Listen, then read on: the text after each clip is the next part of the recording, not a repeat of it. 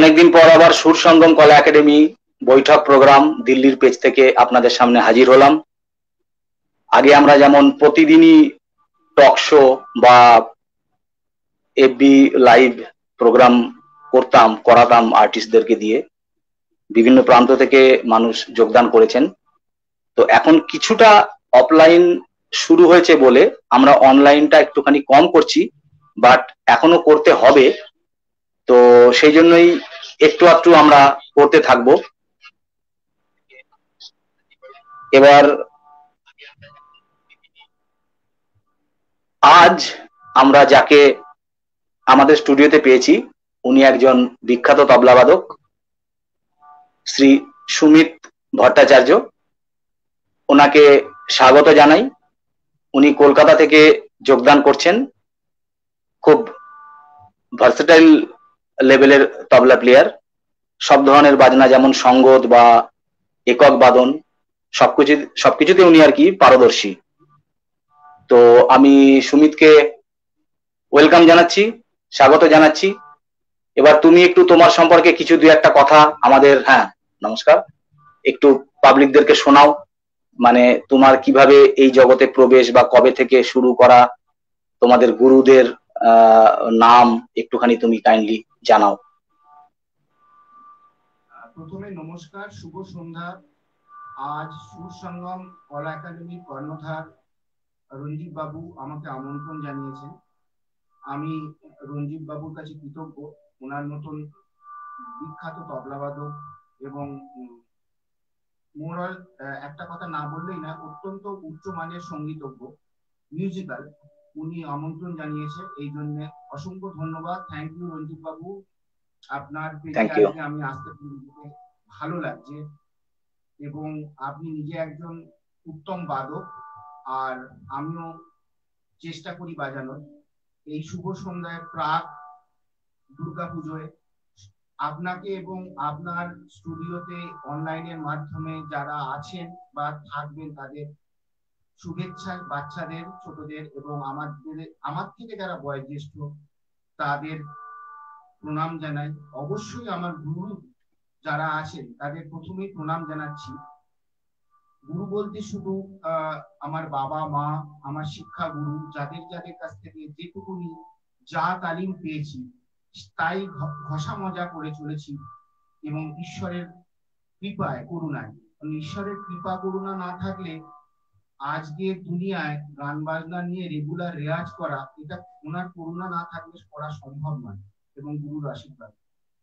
যাই হোক আবারও রঞ্জিত দা রঞ্জিত বাবুকে অভিনন্দন নমস্কার জানিয়ে আমি আমার ছোট্ট আপনাদের শিক্ষার শুরুয়াত যাকে বলে সেখান থেকে বলা শুরু করি।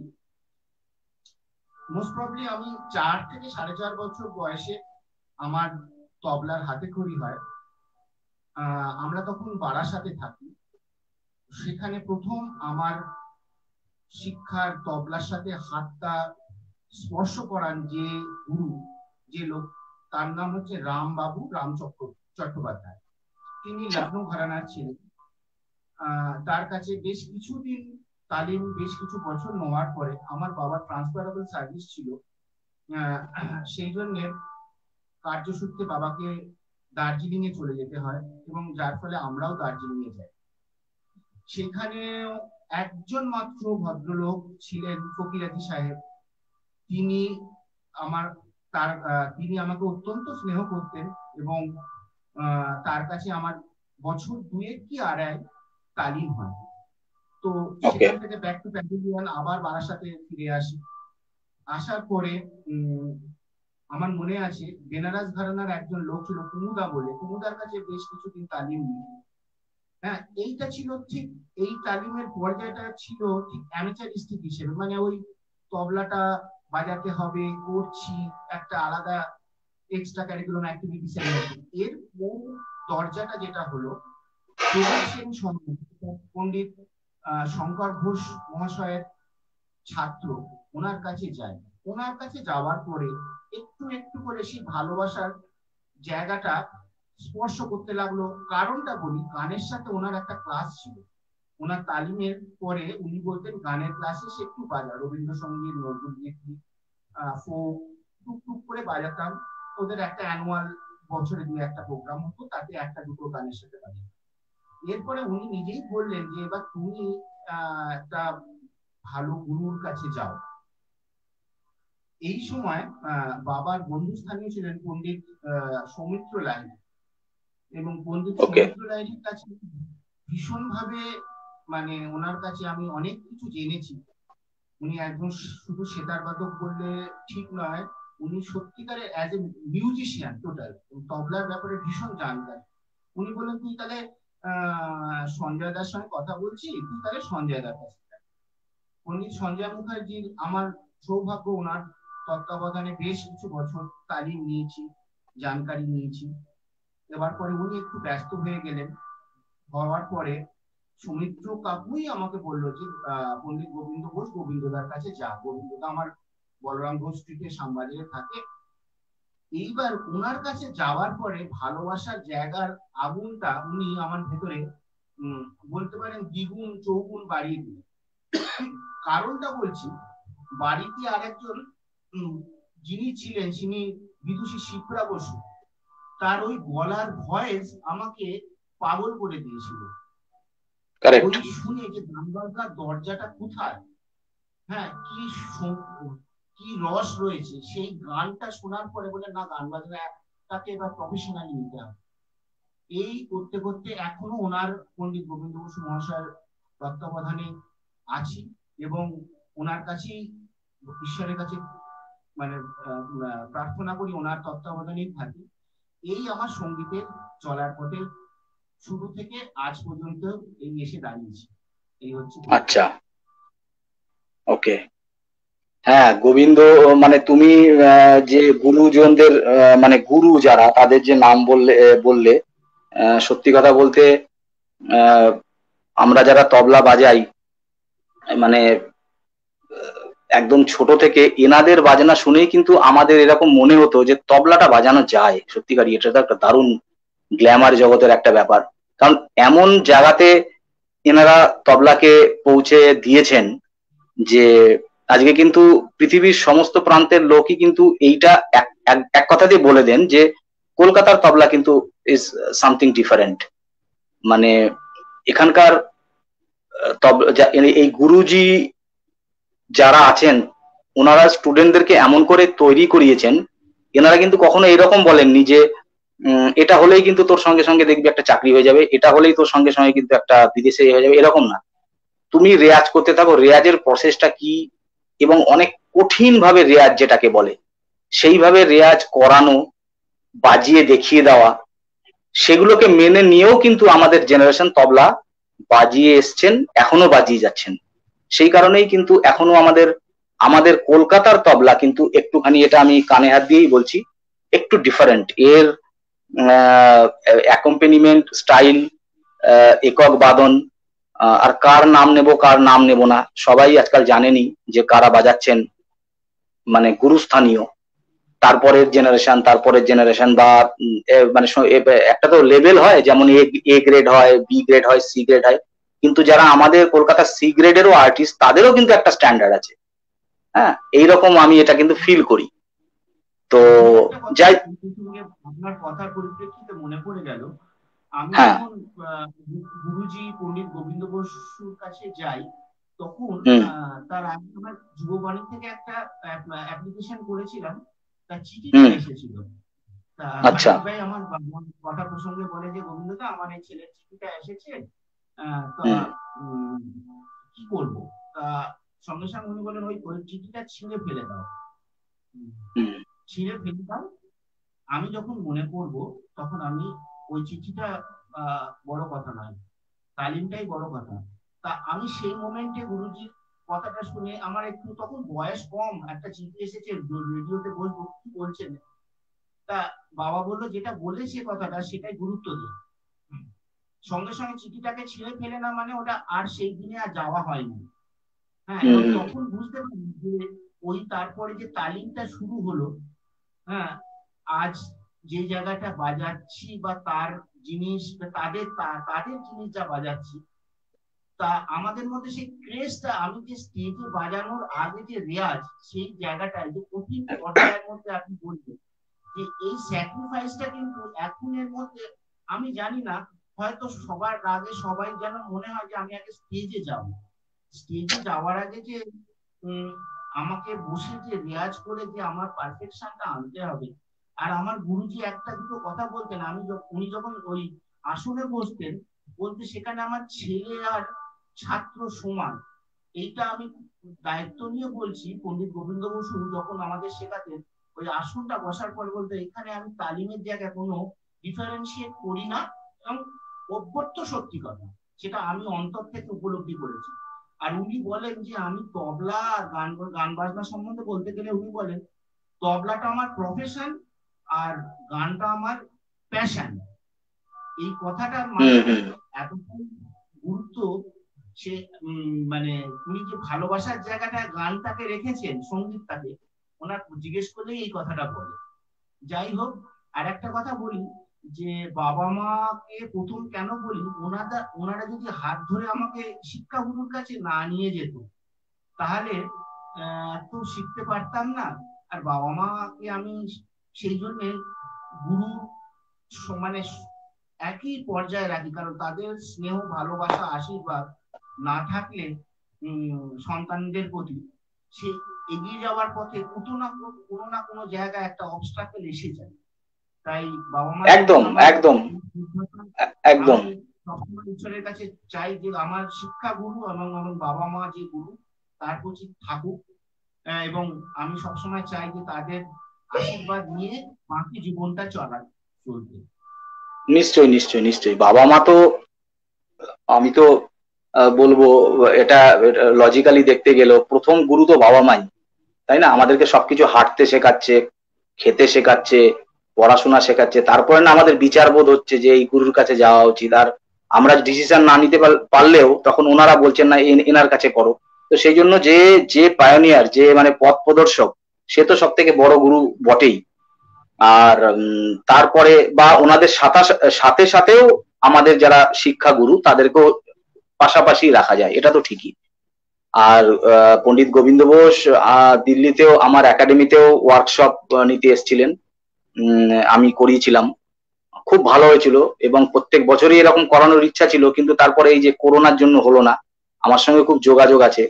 আর এত মানে এটা ঠিকই যে পণ্ডিত গোবিন্দ বোসজি এইরকম টাইপের যে, না কমার্শিয়াল মানে কমার্শিয়াল ব্যাপারটা না অতটা গুরুত্ব দেয় না। মানে আমি বললাম যে, গুরুজি, এটা তো একটা একটা একাডেমি আপনি এদেরকে না কিছুটা এই ছোটদেরকে ছোট লেভেলের একটুখানি কিছু রেয়াজপত্রের বল দিয়ে দেন মিডিয়াম যারা আছে, যারা প্রফেশনাল আছে। তো গুরুজি দেবে কি? নিজেই বাজিয়েই যাচ্ছে। বুঝেছ? এত বাজিয়ে বাজিয়ে যাচ্ছে যে ছোট ছেলেগুলোদের মাথার উপর দিয়ে চলে চলে যাচ্ছে। তা আমি পরে বললাম যে, গুরুজি আমাদের মানে জগৎ যুগ জামানাটা তো আবার একটু আলাদা টাইপের না? যুগ জামানা ভাববে যে, আমি পয়সা দিলাম, আমি কি শিখলাম? কিন্তু ওনারা তো এতটাই সিম্পল বা এতটাই ওনারা মানে সাধক টাইপের মানে যদি চার ঘণ্টার ওয়ার্কশপ হয়েছিল, তিন ঘণ্টা বোধহয় উনি বাজিয়ে গেছেন। তো বাট খুব ভালো হয়েছিল, খুব ভালো। আবার করোনার পরে আবার ডেফিনেটলি আমি তো ওনাকে আনবই।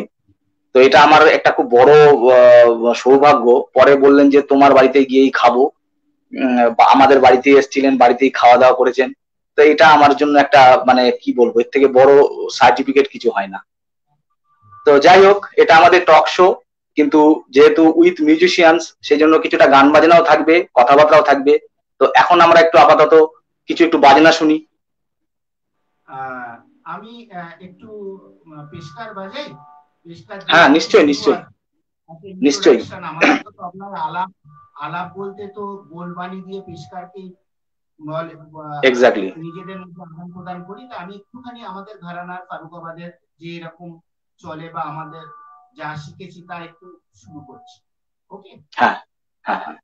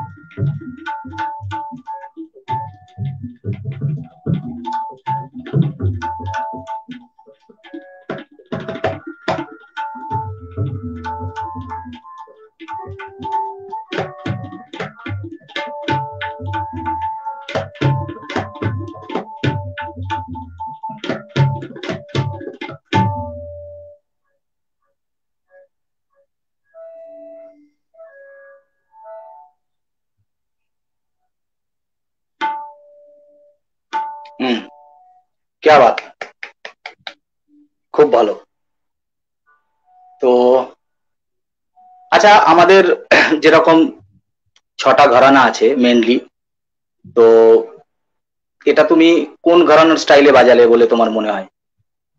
ফারুকাবাদ মেনলি স্টার্টিংটা ফারুকাবাদের এবার এখন সব এতটাই ব্লেন্ডিং হয়ে গেছে হ্যাঁ, যার ফলে এটা স্টাইল অফ এটা আমি যেহেতু ফারুকাবাদে শিখেছি বা আমি পণ্ডিত সঞ্জয় মুখার্জি এই লয়ের বাইরে বাজানোর যে প্র- প্রক্রিয়াটা লয় একটা চলা। লয়ের বাইরে যে চলা মানে উনি হুম। বলতেন একটা কথা কথা বলছিস তুই কখনো তো একই লয় কথা বলছিস? কি দাদা কেমন আছেন? ও অনেকদিন পরে দেখা হয়েছে তো। কেমন ওই আপনার ওই খবরটা ও আচ্ছা। এই যে গতির আদান প্রদান কিন্তু আপনার সঙ্গে ইন্টারাকশনটা ওইভাবে হচ্ছে। এই কথাটা বলতেন। এবং আমার। পণ্ডিত গোবিন্দ বসু লয়ের বাইরে। গিয়ে যে অসংখ্য লয় আছে শুরুয়াত মানে-। শুরুয়াত বা মানে পেশ করছেন দুজন অডিয়েন্স এবং শিল্পীর মধ্যে বা যারা আছে সেইটা মাথায় রেখে যেটুকুনি চিন্তা ভাবনা করেছি ওকে প্লাস তাছাড়া নিজের তেহাই পরিকল্পনা কিছুটা তো ডেফিনেটলি নিজেরও আছে সে তো তাই না? যেতে থাকবেই।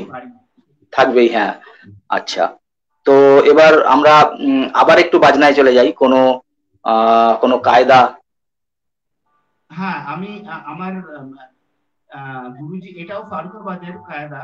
এটা মোস্ট প্রবলি পঞ্চাশ ষাট সত্তর বছর বছর আগেকার কায়দা। আমার গুরুজি খুব বাজান। কায়দাটা ধারা ঘেনে এবং দিনি দিনা ঘেনে তেটে ক্রেধে তেটে এটা তিনটে কম্বিনেশন দিয়ে একটা কায়দা আছে। অসম্ভব ভালো অ্যারেঞ্জমেন্ট সেই অ্যারেঞ্জমেন্টটা একবার বলছি দিন ধারা ঘেনে ধাগে থেকে ক্রেধে থেকে ঘেনে ধারা ঘেনে দিনে তাকে দিন দিনা গেলে থাকে থেকে ক্রেধে থেকে ঘেনে ধারা ঘেনে দিন দিনা গেলে থাকি থেকে তাকে দিন দিনা কেনে? দিন তারা কেনে তাকে থেকে ক্রেধে থেকে কেনে তারা কেনে ঘেনে তাকে দিন দিনা কেনে থাকে থেকে ক্রেধে থেকে ঘেনে ধারা ঘেনে দিন দিনা গেলে থাকি থেকে তাকে দিন দিন এটা বাজানোর আমি একটু চেষ্টা করছি। ওকে ওকে ওকে খুব সুন্দর।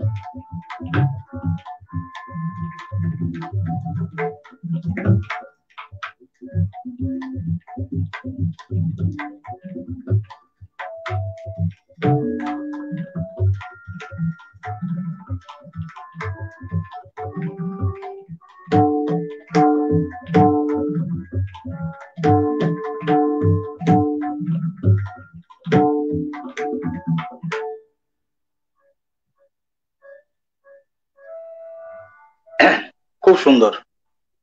খুব ভালো কম্পোজিশন এবং কঠিনও আছে। এগুলো খুব ভালো রেয়াজ না করলে এগুলো বাজানো একটু মুশকিল। তো এইভাবেই এগিয়ে যেতে হবে গান বাজনার মাধ্যমেই আমাদেরকে আপাতত।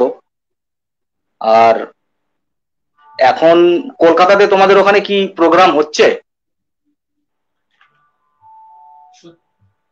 সেই অর্থে সেই অর্থে এখনও হয়তো স্ক্যাটারলি কিছু হচ্ছে। সেই অর্থে যেগুলো বড় বড় প্রোগ্রামের কথা আমার তো ব্যক্তিগতভাবে কানে সেই অর্থে আসেনি বলতে পারেন। হ্যাঁ সব তো খবর রাখা যায় না। আর এবার শীতকাল আসছে কলকাতায় তো শীতকাল মানেই হচ্ছে সমস্ত বড় প্রোগ্রামের সমস্ত কিছু হয়। সেহেতু আমরা ওয়েট করে আছি যাতে আমরা শীতকালটাতে সমস্ত দিন উত্তরপাড়া সংগীত চক্র গ্লোবাল লেন নাথ ব্রহ্ম দক্ষিণী এই সমস্ত জায়গায় আরও বড় বড় যেগুলো আছে। হ্যাঁ এখন এখন একটু একটু একটু একটু হওয়াই উচিত। তা না হলে যারা মানে শুধুমাত্র গান বাজনাকে অবলম্বন করেই যাদের পেশা আর কি তাদের পক্ষে তো না হলে খুব মুশকিল। কারণ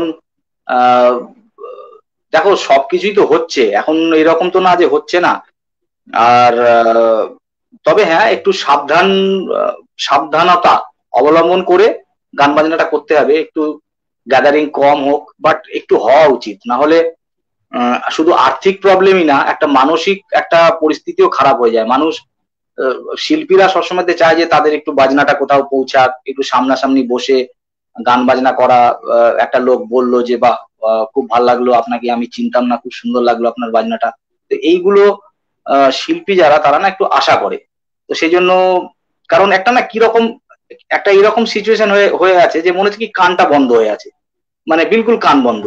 মানে যেমন আগে হতো না, কত কনসার্টের এফবিতে চলে আসছে লাইভ হোক ইয়ে হোক, এখন মনে হচ্ছে কি কানটা বন্ধ, কিছুই না। জাস্ট এরকম অনলাইনেই এগুলো হয়ে যাচ্ছে। বাট এই অফলাইনে যে প্রোগ্রামগুলো সেইগুলো যখন লাইভ কেউ টেলিকাস্ট করছে, সেটার একটা প্রাণ একটা আলাদা আমার মনে হয়। তো যাই হোক, ভগবানের কাছে আমি প্রার্থনা করব, সরকারের কাছেও প্রার্থনা করব কি এইগুলো আমাদের সব ঠিকঠাক হয়ে যাক বা আমাদের সাপোর্টে সরকারও একটুখানি কিছু পদক্ষেপ নিক, এটা আমি পার্সোনালি এটা আমার আশা। আচ্ছা ইতিমধ্যে কিছু কমেন্টস এসছে আমি একটুখানি পড়ে শোনাচ্ছি। হ্যাঁ হ্যাঁ মৌসুমী সাহা খুব সুন্দর। আপনাকে থ্যাংক ইউ আমাদের অনুষ্ঠান দেখার জন্য। Mita Sai very nice performance Jyoti Prakash Biswas হবে বোধ হয় পেশকার সুমিত নামের সার্থকতা সার্থক। আচ্ছা। পেশকার সুমিত আচ্ছা তোমার নাম কি পেশকার সুমিত নাকি? না আমার মানে এরকম- পেজটার নাম মানে- হচ্ছে পরিষ্কার সুন্দর। ওকে ওকে ওকে ওকে হ্যাঁ গুড গুড ভেরি গুড পরিষ্কার সুন্দর আমাদের সাথে ইউএসএ হুম। রবীন্দ্রভারতীতে একসঙ্গে আমাদের ব্যাচমেট ছিল। জ্যোতি প্রকাশ হুম। মুর্শিদাবাদে থাকে। হুম, হুম জ্যোতি। Thank you Jyoti. হ্যাঁ হ্যাঁ। হ্যাঁ হ্যাঁ হ্যাঁ তুমিও তাদেরকে থ্যাংক ইউ জানাও। আচ্ছা আহ, নারায়ণ সরকার আহ, দেখছেন। আহ, বিশ্বাস লালটু এনারা দেখছেন। তো আস্তে আস্তে অনেকেই জুড়ছেন। খুব ভালো লাগছে। এবার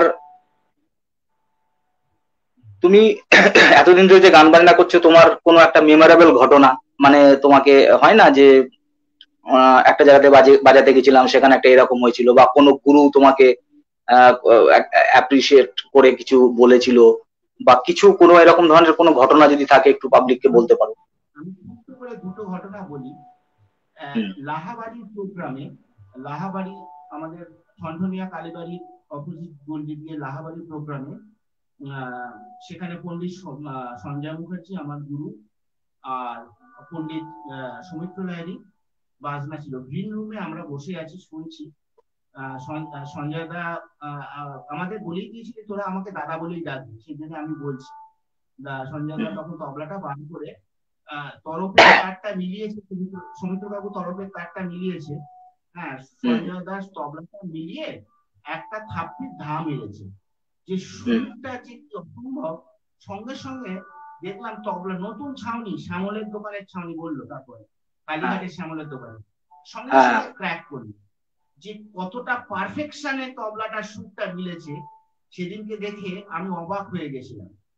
এই একটা আমার কাছে মেমোরেবল আর একটা আমি যখন ন্যাশনাল স্কলারশিপ পেয়ে পণ্ডিত আহ, শ্যামল বোস জির কাছে যেটা রিপোজ নার্সিং হোম এসে বালিগঞ্জে থাকে ওনার বাড়িতে গেছিলাম প্রণাম করতে। শ্যামল জেঠু বড় জেঠুর বাড়িতে। তা। ওনাকে প্রণাম করে ওনার আশীর্বাদ নিয়েছিলাম। তা উনি আমাকে একটা কথা তখন বলেছিলেন যে বাজনাটা বাবা আহ, মনে রেখো ওই বিউলির ডাল আলু পোস্ত দেখবে তিনশো পঁয়ষট্টি দিন খেতে খেতে পারছ। আর বিরি- বিরিয়ানিটা দেখতে প্রথম দিন খুব ভালো লাগবে দ্বিতীয় দিন আর একটু ভালো লাগবে তারপরের দিন খেলে অম্বল হবে। হ্যাঁ তারপরের দিন পেটটা প্রবলেম হবে। তা বাজনাটা যেন বিউলির ডাল আলু পোস্ত থাকে মাঝে মধ্যে বিরিয়ানি হয়। তা তার কথাটা তখন কম বয়স ছিল তো বুঝতে পারিনি। তখন এখন উপলব্ধি করতে পারি যে কত দামি কথাটা বলেছিলেন যে বাজনা হুম হুম। গান বাজনাটা বিউলির ডাল আলু পোস্ত হয় বিরিয়ানিটা মাঝে মধ্যে হয় হ্যাঁ। এই যে উপলব্ধি ওনাদের ওনাদের যে দার্শনিক এত বড় এনারা যে এক একটা এক- এত বড় দার্শনিক কথাবার্তা মধ্যে যে গান বাজনা এইটা সত্যি কথা আমাদের পরবর্তীকালে যখন বয়স বাড়ে এক একটা করে চুল পাকতে শুরু করে তখন উপলব্ধির জায়গাটা পৌঁছতে পারে। সত্যি কথা। এবং সব থেকে আমার কাছে যেটা আমার যেটা একটা অনুভব যে এই যে পণ্ডিত শ্যামল বোসের নাম বললে বললে তো এনারা না সব থেকে যেটা আমার কাছে ইয়ে লাগতো যে মহান শিল্পী তো ছিলেনই। আমাদেরকে পথ দেখিয়েছেন, কত স্টুডেন্ট তৈরি করেছেন, সেগুলো তো আছে, আছেই। কিন্তু না সব থেকে বড় কথা এত মানে একটা, এত সরল সোজা টাইপের না মানে খুব ইজিলি গিয়ে মনে হয় কি যে গুরুজিকে কিছু একটা বলা যায় যে এরকম ব্যাপার। হ্যাঁ এরকম আমি ওনার সঙ্গে শান্তিনিকেতনে আমি যখন পড়াশোনা করতাম, তখন উনি এম এ লেভেলের এক্সাম নেওয়ার জন্য যেতেন। তো তখন আমার যেহেতু বাড়ি বহরমপুরে ওখান থেকে বহরমপুরে একটা ক্লাস ওখানে ছিল আহ, পণ্ডিত শ্যামল বোসের। তো গুরু মা বললেন যে তোমার বাড়ি তো বহরমপুরে তুমি তাহলে গুরুজিকে নিয়ে বহরমপুরে যেও। তো আমরা আসছি কত কম্পোজিশন দিচ্ছে বলছে বললেন যে শঙ্কর ঘোষের ছাত্র তুমি মানে আমারও ছাত্র গিয়ে খাতা নিয়ে চলে আসবে। কোন তালের তালিম পাওনি সেগুলো। আর সত্যি প্রচুর আমাকে কম্পোজিশন দিয়ে, দিয়েছিলেন। আমি সেগুলো ওনার কথা বলে বলেও বাজাই। তো যাই হোক, এনারা সত্যিকারেরই এইরকম টাইপের এখন এখন আর ঠিক এই টাইপের ইয়েগুলো নেই। যাই হোক যুগের পরিবর্তনের সাথে সাথে আমরা, আমার যেটা মনে হয় যে আমাদের প্রফেশনালিজমটা বেশি করে গ্রাস করছে সে গুরু মানে অ্যাজ এ গুরু আমরা হিসেবে আমাদের জেনারেশনের কথা বলছি। এবং ছাত্র আমরা যেমন গুরুকে গুরুর জায়গায় রাখতাম যে আমরা অ্যাজ এ ছাত্র এখন ছাত্র আর গুরুর মধ্যে হয়ে গেছে স্টুডেন্ট আর স্যার এইটা স্টুডেন্ট স্যার হয়ে গেছে। গুরু একদম একদম। একদম। এইটার মানে গুরু ছাত্র আর স্টুডেন্ট স্যার এই দুটোর মধ্যে বিস্তর ফারাক আমার মনে হয়। আমি স্যারকে পয়সা দিচ্ছি, আমি ওখান থেকে কম্পোজিশন নেব। আর আমাদের ছিল, আমি গুরুর কাছ থেকে কীভাবে তার কাছ থেকে তার ভাবনাটা একটু তার থেকে পাবো, তার ভাবনাটা, তার চিন্তার রসদের কিছুটা অংশ পাবো। এইটার মনে হয় এখনকার দিনে বড্ড বেশি ফারাক হয়ে গেছে। না না, সেটা তো বটেই, সেটা তো বটে দেখো, এখন এখন আসলে কিছুটা কিছুটা আমি বলব যে এখনকার যুগের সঙ্গে তাল মিলিয়েও কিছুটা তো চলা উচিত, এটাও ঠিক যে তোমার ফিলটা ওটাই থাকবে, কিন্তু এটাও তো ঠিক যে এখনকার জেনারেশন গান বাজনা শিখবে, শেখার পরে যদি কোনো ফিডব্যাক না থাকে বা যদি কোনো দেখা গেল যে মার্কেটে কোনো ভ্যালু নাই, সেরকম প্রোগ্রাম প্রোগ্রামের উপরে ভিত্তি করেই থাকতে হচ্ছে। তো এটা তো এরকম ব্যাপার না যে দোকান খুলে রেখেছে, বিক্রি হলে ভালো, বিক্রি না হলে ভালো না। কিন্তু দেখো, সরকার খেলাধুলার জন্য যতটা পয়সা বা স্পন্সরশিপ পাওয়া যাচ্ছে, যে কোনো স্পোর্টস বে ক্রিকেটারদের কথা বলো, যাই বলো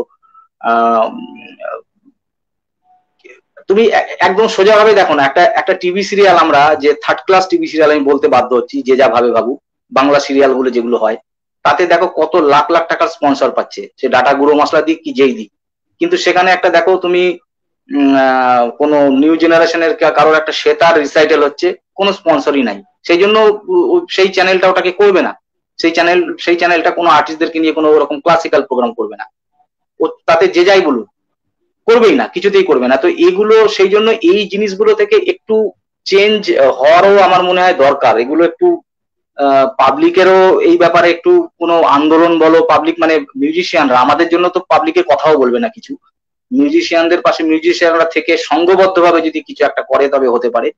তা না হলে দেখো মিউজিশিয়ানরা আমরা আমাদের একটা সংগঠন বা আমাদের মিউজিশিয়ানদের একটা ঐক্যবদ্ধ হওয়া, যারা নিউ জেনারেশন বা আমাদের মধ্যম বয়সী যারা আছেন বা আমাদের থেকে যারা সিনিয়র তারা যদি একটু একটা সংগঠন হয়, তাহলে কোথাও না কোথাও একটা ভালো লাগা বা জোর বলতে পারেন, কাজ করে।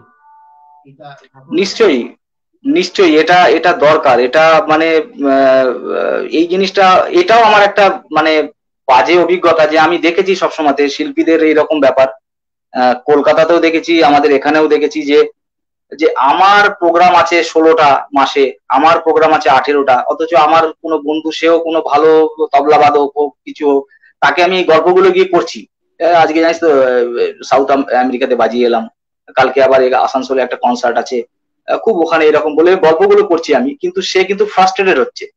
তার কোনো প্রোগ্রাম নেই। কোনো কারণে আমি পেয়ে যাচ্ছি, কোনো কারণেই হোক। তো এইটা হওয়া উচিত না। তাকেও একটুখানি হেল্প করো। তাকেও আমার যদি ষোলোটা থাকে, অন্তত দুটো প্রোগ্রাম দিয়ে দাও না তাকে। কি আছে?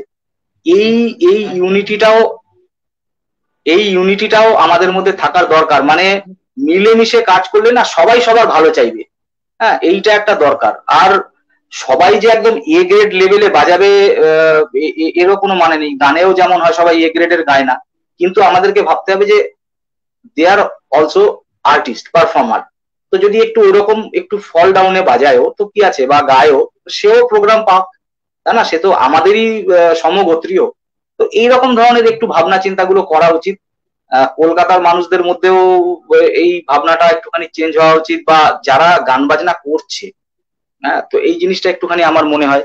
যাই হোক, বেশি ভারী ভারী কথাও বলব না, কিন্তু এটা আমার জাস্ট অনুভব। অনেকটা বিরক্তিও আমার আছে এইসব ব্যাপারে অনেক। তো আমরা চাকরি বাকরি করছি, সেই জন্য চলো দুটো ডাল হয়ে যাচ্ছে। কিন্তু যদি শুধু প্রোগ্রামের উপরে থাকতে হতো, জানি না কোথায় প্রোগ্রাম পেতাম। হ্যাঁ আর ভালো বাজালেই প্রোগ্রাম পাবে, একটু খারাপ বাজালেই প্রোগ্রাম পাবে না, তা কেন? তাহলে কেউ বাজাবে না। আর সবাই কে ভালো, কে খারাপ, এটাকে নির্বাচন কে করছে? তো যাই হোক, তো আবার একটু বাজনাতে চলে যাই। আবার একটা কি শুনব বলো? হ্যাঁ হ্যাঁ। আমি তুমি একটা অন্য হ্যাঁ খুব ভালো খুব ভালো। খুব ভালো হ্যাঁ হ্যাঁ। ত্রিমাত্রিক ছন্দের কোনো কম্পোজিশন একটু কারেক্ট খুব খুব ভালো হ্যাঁ হ্যাঁ।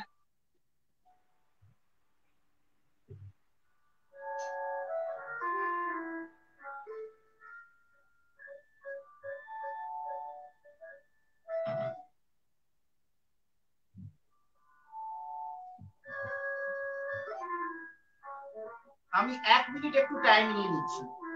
ওকে ওকে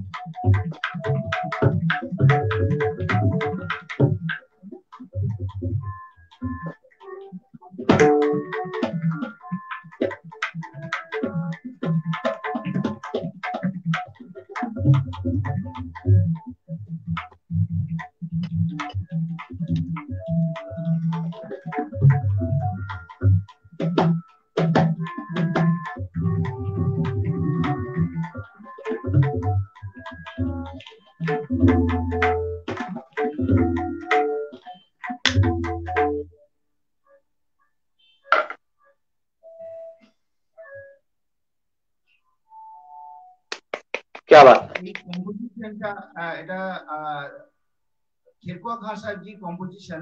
হ্যাঁ এটা তো হ্যাঁ ট্র্যাডিশনাল এটা তো ট্র্যাডিশনাল এবং ভীষণ এবং যে জায়গা থেকে পেরেকেটেটা ঘুরছে এবং হ্যাঁ। চার সাড়ে চারের পর পৌনের জায়গা থেকে তেরেকেটেটা ঘোরা এইটা হ্যাঁ। তখনকার ওস্তাদরা যেন কম্পোজিশন করে গেছে ওইটা রেয়াজ করতে করতেই আনতে ওই রিভলভ রিভলভিং ব্যাপারটা আনা মানে কি করে গেছে তাই ভাবি, যে ভাবনা চিন্তা কি দরজায় ছিল।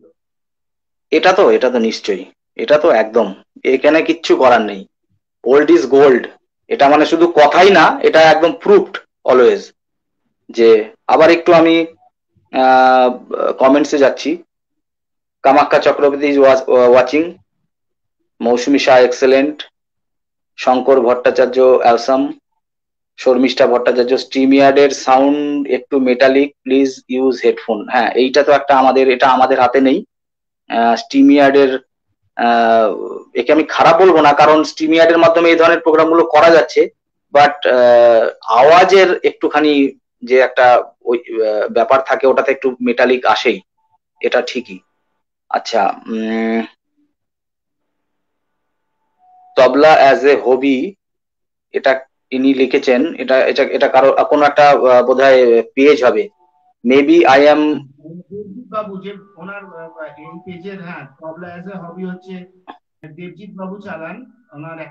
আচ্ছা। Okay maybe I am listening from Dibrugarh where connectivity is bit poor listening with headphone Samit babu is playing very nicely that is for sure thank you তুমিও থ্যাংক ইউ জানিয়ে দাও ওনাকে। অসংখ্য ধন্যবাদ। আপনি ডিব্রুগড় থেকে শুনছেন এবং এই প্রোগ্রামে আছেন অসংখ্য ধন্যবাদ। ভালো থাকুন ভালো থাকুন।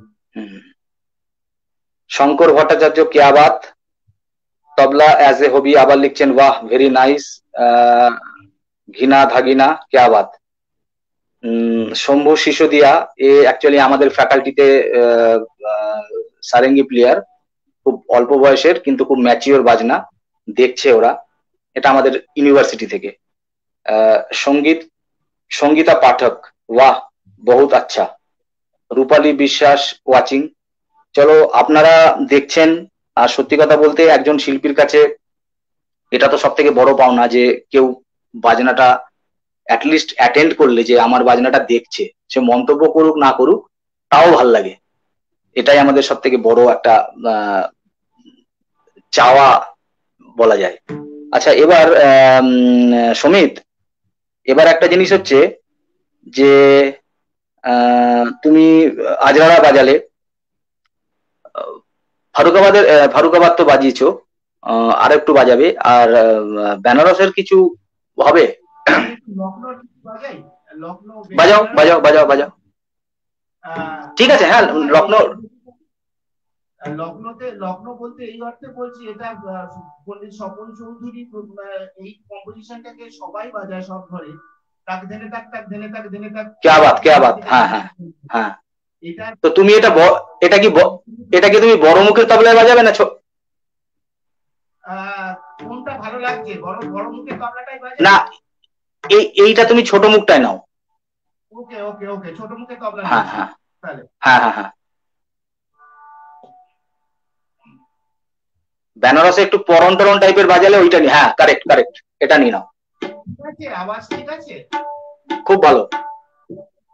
ঠিক আছে আমি শুরু করছি দাদা। হ্যাঁ হ্যাঁ।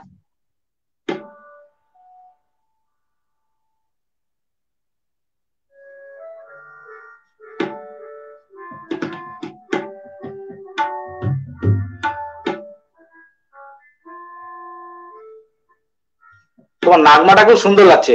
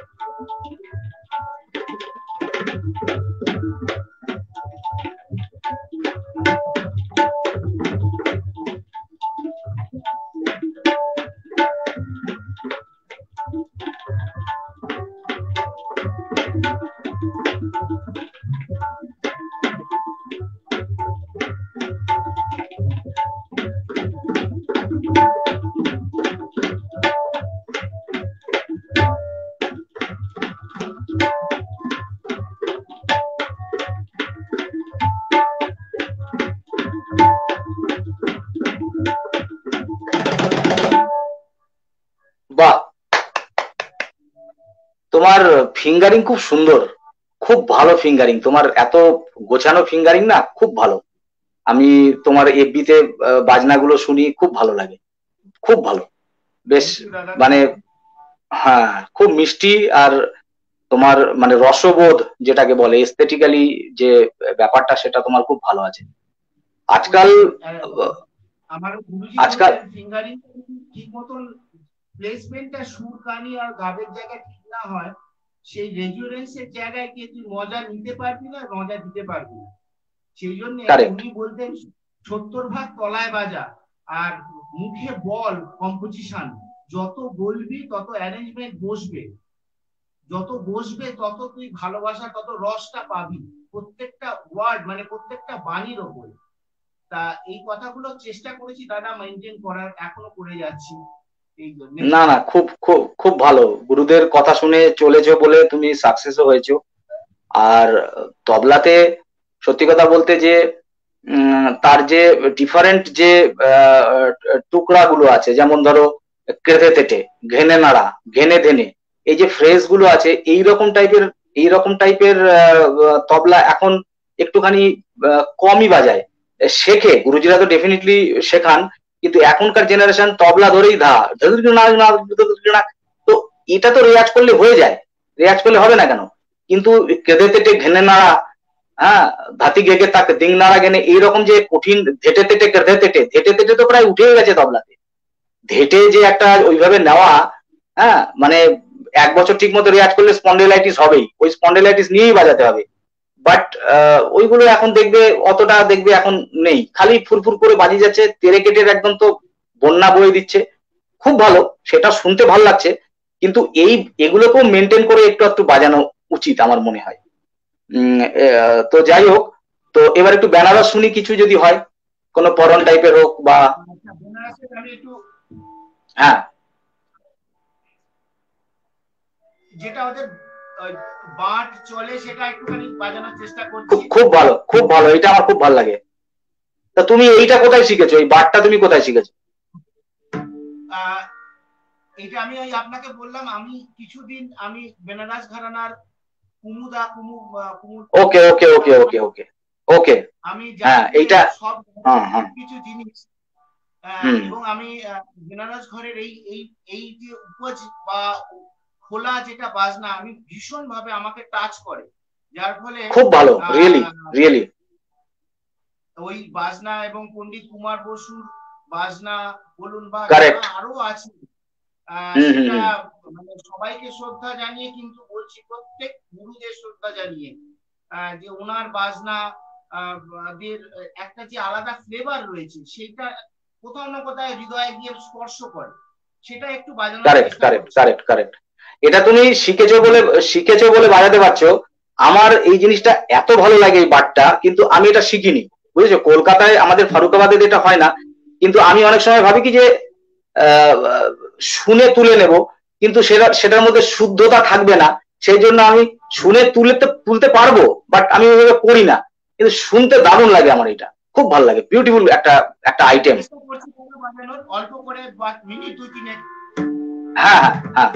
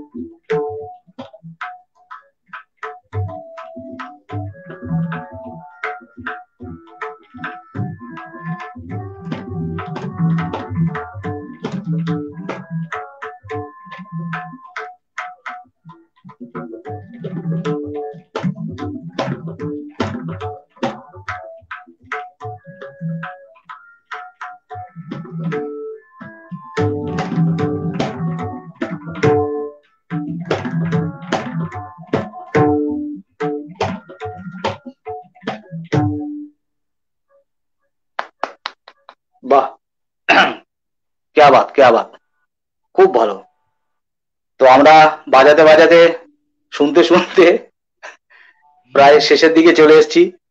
এবার তোমাকে আমি একটা জিনিস জিজ্ঞেস করি। আচ্ছা তার আগে কয়েকটা কমেন্টস একটু দেখে নি ঠিক আছে? শেষের দিক দিয়ে দেখছি, মিতা সাই, বায়া খুব সুন্দর লাগছে। দেখো, তার মানে একজন আবার বলছিল, বায়া আসছে না। আবার একজন বলছেন, বায়া আসছে। মানে এটা স্টিমিয়ার এটা এটা এটা মানে আমাদের কিছু করার নেই। তো ইনি বলেছেন, বায়া ভালো আসছে। Shankar Bhattacharya excellent Anindita Banerjee valuable discussion along with tabla. Thank you সবাইকে অনেক ধন্যবাদ জানাচ্ছি। অঞ্জনি অঞ্জনি কুমার টাইটেলটা পড়তে পারছি না। Great to hear that okay okay okay okay okay great to hear the discussion along with beautiful tabla playing by Sumit sir thank you Jyotiprakash Biswas খুব ভালো লাগছে, সঙ্গে আছি। দারুণ প্রোগ্রাম হচ্ছে। শর্মিষ্ঠা ভট্টাচার্য কেয়াবাদ। শর্মিষ্ঠা ভট্টাচার্য সম্পর্কে আমি একটু দু লাইন বলে দিই। উনি আমাদের পেজে আগে এফবি থেকে প্রোগ্রাম করেছেন। অসাধারণ কণ্ঠের অধিকারী গায়কী খুব ভালো এবং ওনাকেও আপনারা কিছুদিনের মধ্যেই টক শোয়ে দেখতে পারবেন। খুব ভালো মানে একজন যার গান শুনে আপনাদের ভালো হ্যাঁ। সে তো আমার সহধর্মনী বলতে পারেন আমার ওয়াইফ কিন্তু আচ্ছা। সেটা সেটা আমি সেটা আমি জানি। আমি জানি কিন্তু আমি বললাম না। চলো তুমি বলে দিয়েছ ভালো করেছ। হ্যাঁ। আমি আমি এটা ডিসক্লোজ করলাম। কিন্তু ডিসক্লোজ এই কারণেই করলাম। সেইটাকে বাদ দিয়ে যদি অ্যাজ এ আর্টিস্ট হিসেবে দেখা যায় ওর মধ্যে স্পন্টিনিটি ব্যাপারটা যেটা আসে বলার এবং আমি সেটা বলতে পারেন যে সেই যে মোচড়টা সেই মোচড়টা যদি ও যদি গানে না পেতাম হয়তো বা এত ভাবনা চিন্তা তবলার জায়গায় নিয়ে করাটা একটু হলেও কারণ গান না পেলে তো আমি জায়গাটা অ্যাপ্লাই করার স্পেস কোথায় পাবো? সেই একদম। একদম। টিউশনস বাজানো বা বাইরে বাজানো বা বাড়িতে এক্সপেরিমেন্ট করা এই এক্সপেরিমেন্টাল জায়গাটা আমি কিছুটা হলেও বলতে পারেন যে শর্মিষ্ঠার গানগুলো শুনি। আর যখন দিদিভাই ছিলেন, এখন তো দিদিভাই বিদুষী শিবরাতি নেই। আমাকে অত্যন্ত স্নেহ করতেন। এবং বাইদিভাই বলার কথা, ওনার খুব কাছের ছাত্রী ছিল ছিল শর্মিষ্ঠা, একেবারে। তা ওর ওই গানের মজাটা যদি না পেতাম, হয়তো এক্সপেরিমেন্টের জায়গাটা হয়তো কিছুটা হলেও খামতি হয়তো বা থেকে যেত তা ওর গানটা শুনি ভালো লাগে বসি রেয়াজ করি নিজেদের মধ্যে আদান প্রদান হয়। সেদিক দিয়ে দেখতে গেলে ওর ওর গানটা পড়ার পরে আরও মনে হয় যে এই জায়গাটা অ্যাপ্লাই করতে পারি। খুব ভালো খুব ভালো। এটা এটা খুব ভালো এবং এটা মানে তোমাদের দুজনের পক্ষে একটা খুব প্লাস পয়েন্ট যে দুজনেই দুজনকে পাচ্ছ গান বাজনা করতে পারছ। একে তো মানসিক শান্তি দু নম্বর হচ্ছে যে রিয়াজটাও হচ্ছে, দুজনেরই রিয়াজটা হচ্ছে। আমি যদি এখন ঘরে বসে একটু রেয়াজ করতে চাই, আমার সঙ্গে নাগমা কে বাজাবে? ওই ইলেকট্রনিক্স নাগমার সঙ্গেই বাজাও। এগুলো করতে হচ্ছে, কিন্তু এইটা তোমার খুব প্লাস পয়েন্ট খুব ভালো। তো শর্মিষ্ঠাকেও খুব তাড়াতাড়ি আমরা আমাদের এই স্টুডিওতে নিয়ে আসব। তো এইবার আমি তোমাকে একটা জিনিস বলি, সেটা হচ্ছে যে তোমাকে আমি বিভিন্ন মানুষের মানে আর্টিস্টদের সঙ্গে অ্যাকম্পানি করতে দেখেছি বিভিন্নভাবে। সোলো বাজাতে দেখেছি। তো অ্যাকম্পানি নিয়ে মানে সঙ্গত নিয়ে তোমার কীরকম বক্তব্য? যে মানে কীরকম হওয়া উচিত? একটু পরবর্তী জেনারেশনকে যদি একটু বলো বা তোমার ভাবনা একটু ব্যক্ত করো। এটা বলতে গেলে আমি এই বয়সে এসে যেটুকুনি উপলব্ধি করেছি, সেটা তালিমটা ডেফিনেটলি ক্লাসিক্যাল তালিম থাকতে হবেই হবেই।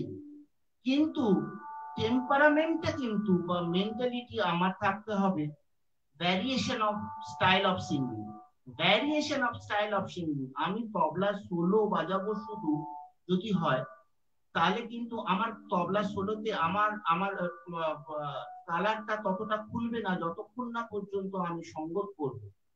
সঙ্গতের এবং ভ্যারাইটি আমি রেডিওতে যখন ক্যাজুয়াল করতাম আমি বারাসাত থেকে তবলা মায়া ঘাড়ে করে নিয়ে কল্যাণী এক্সপ্রেসে করে সকাল সাতটা পনেরোর কল্যাণী এক্সপ্রেস ধরে সাড়ে আটটায় ঢুকতে হতো, যখন আমার বিহাই প্লেট ছিল, তারপরে তো হলো। তা সাড়ে আটটায় ঢোকার পরে ফার্স্ট রেকর্ডিং হচ্ছে রবীন্দ্রসঙ্গীত, তারপরে হচ্ছে কীর্তনঙ্গের গান হ্যাঁ তারপরে একটা ব্রেক তারপরে হচ্ছে খেয়াল মানে আটচল্লিশ তার ঠেকা দিতে হচ্ছে। এবার লাস্টে রাগাশ্রয় গান। অন্যদিন হয়তো একটা ইনস্ট্রুমেন্টের সঙ্গে পড়ল। হ্যাঁ আর কোথাও পড়লি এই যে ওখান থেকে যে আমি শিখলাম যে টোনের যে কোয়ালিটি থ্রো করা তবলা রবীন্দ্রসঙ্গীতে রবীন্দ্রসঙ্গীতে যে টোন হবে নিশ্চয়ই সেই টোনটা ঠুমরির সঙ্গে হবে না বা সেই বলিষ্ঠতা আরও থাকতে হবে। বা গাজলের যে কিনারটা গজলের কিনার প্রধান কিনারটাকে মেনটেন করতে হবে এইগুলো এটা এটা ব্যাপারটা কি যে যত বেশি এই সবের সঙ্গে অ্যাটাচমেন্ট হবে বা সেতারের সঙ্গে বা সরোদ বা ইনস্ট্রুমেন্টাল সঙ্গে সেখানে আমি কতগুলো কায়দা রেলা শিখেছি এটা কোনো ভ্যারি করে না।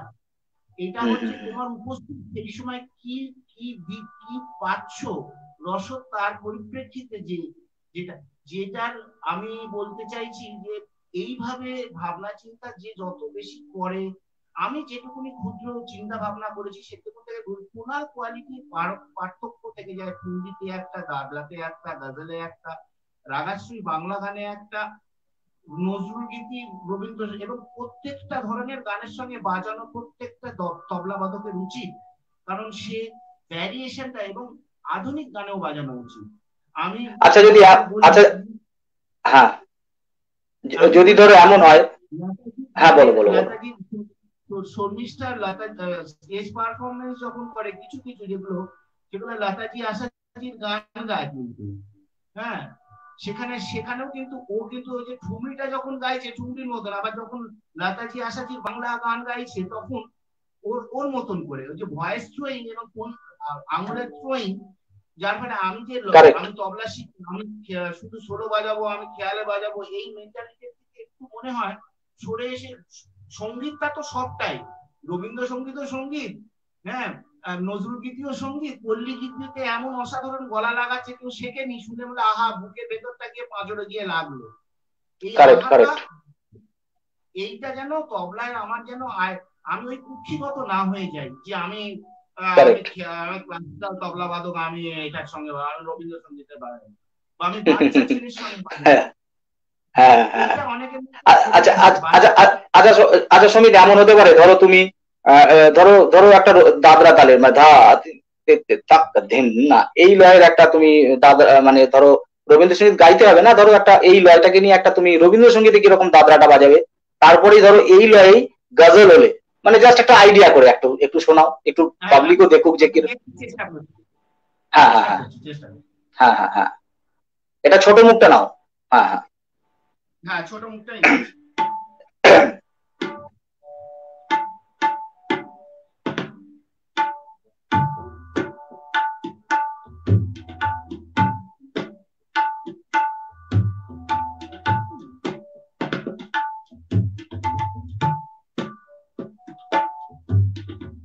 এটা এটা হচ্ছে আচ্ছা এইটা এইটা কি কি হলো? এটা রবীন্দ্রসঙ্গীতের?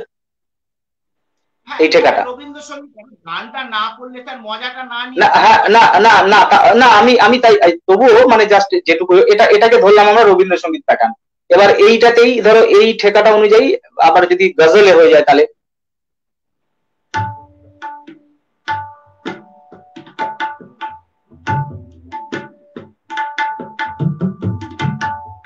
Correct correct.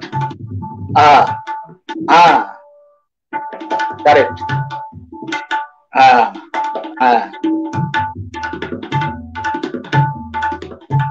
Ah. Hmm.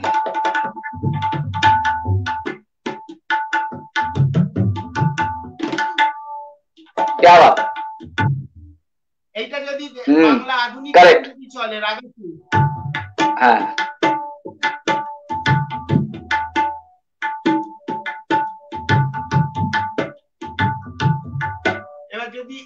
যদি মোটামুটি মোরাললেস আমি চেষ্টা করছি এটা যদি পান মানে অন্য একটুখানি কমার্শিয়াল ঠেকার দিকে যদি যাই।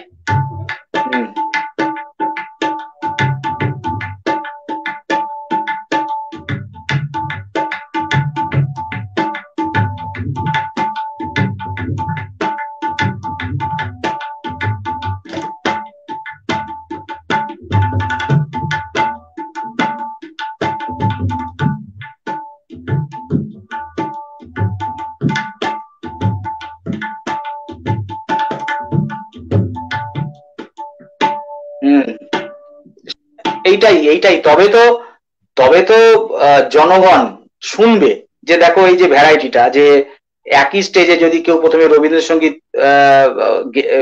অনুষ্ঠান থাকে, তো তার সঙ্গে কোনো তবলা বাদক একটা ওই রকম বাজালেন। তারপরে দেখা গেল যে আর একজন তবলা বাদক এলেন কোনো আধুনিক গানের সঙ্গে। সেখানেও সে দাদরা কাহারবা গুলো বাজালেন। তারপরে দেখা গেল সেই স্টেজেই আবার কেউ গজল গাইছেন। তো তবেই তো পাবলিক এনজয় করবে মানে ভ্যারিয়েশনটা হবে।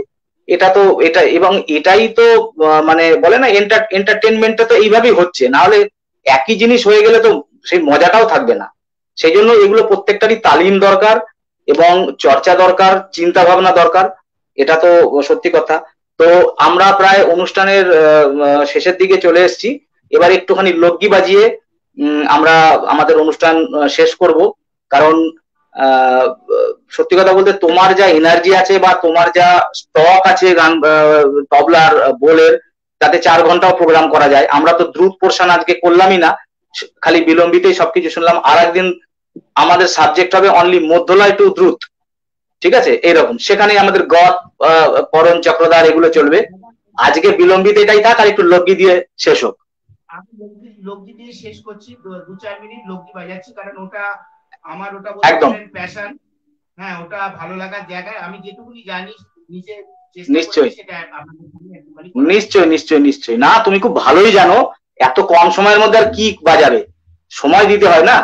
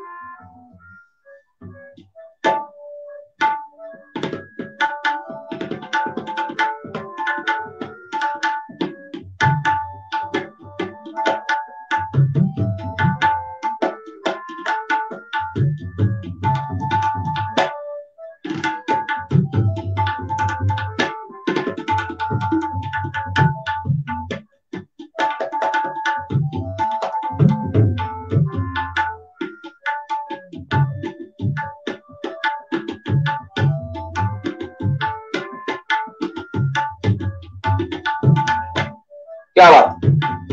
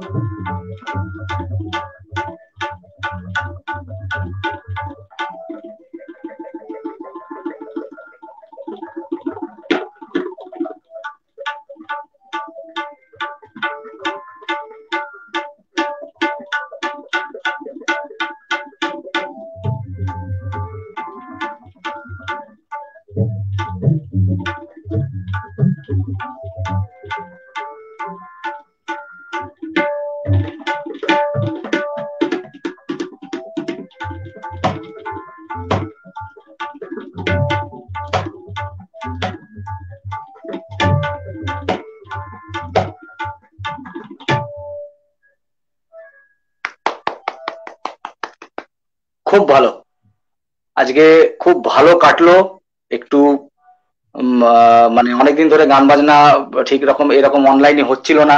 আজকে তোমার এই বাজনা শুনে আশা করি সমস্ত শ্রোতা, দর্শক যারা আমাদের অনেক মানুষই আমাদের সঙ্গে জুড়েছেন সবারই আশা করি ভালো লাগল। আমার তো খুবই ভালো লেগেছে। শেষের দিকে আর দুই একবার একটু পড়ে দিই।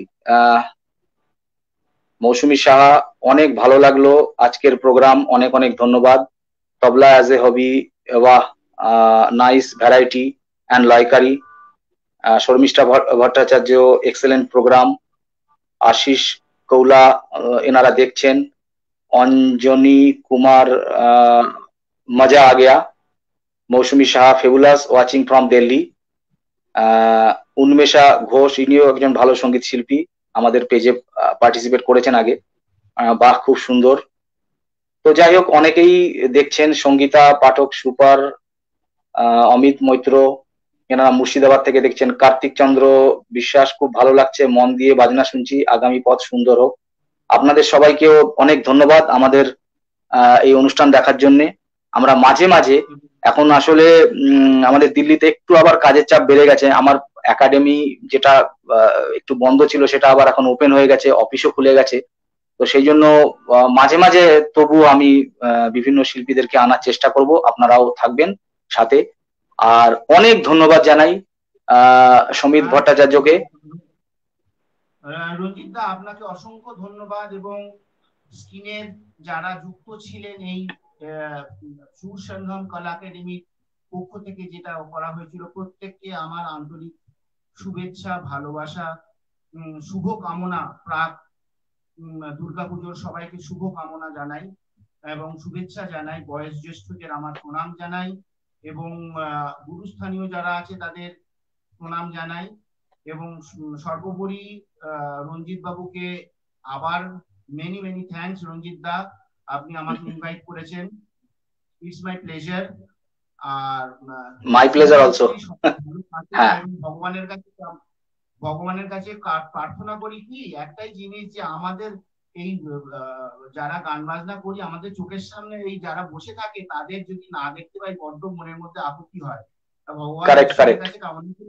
যে এই যে একটা রে কাজ করে একটা যে অডিয়েন্স এবং যারা গান বাজনা করছে তাদের সামনের তারিফ বলুন বা একটা রে একটা কেমিস্ট্রি রয়েছে এটা যেন হ্যাঁ, হ্যাঁ, হ্যাঁ।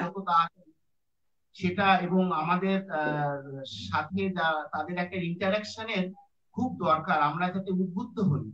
কারণ আমাদের কাছে দর্শকই হচ্ছে ভগবান। কারণ প্রত্যেকটা দর্শকের মানুষের মধ্যে ঈশ্বর বিদ্যমান। তারা তাদের অমূল্য সময় ব্যয় করে যে দেখছেন সময় বার করে দেখছেন তাদের কাছে অসংখ্য ধন্যবাদ। এবং রঞ্জিত বাবুকে অসংখ্য ধন্যবাদ। থ্যাংক ইউ শুভরাত্রি হ্যাঁ। হ্যাঁ তোমরা ভালো থেকো, সামনে পুজো আসছে, সবাই ভালো থাকুক, গোটা পৃথিবী আবার সব ঠিক হয়ে যাক, শান্ত হয়ে যাক। এই যে জলের বন্যা, এসব শুনছি, কলকাতাতেও জল জমেছে, প্রত্যেক, সব জায়গাতে আমাদের বন্ধু বান্ধব আত্মীয় পরিবার এসব রয়েছে। সবাই ভালো থাকুক, এইটুকুন শিল্পীরা অ্যাটলিস্ট মানুষের কল্যাণই চায়। তো আমরা সবার মঙ্গল কামনা করে, আর তোমাকে অনেক ধন্যবাদ জানিয়ে আজকে শেষ করছি। নমস্কার গুড নাইট নমস্কার।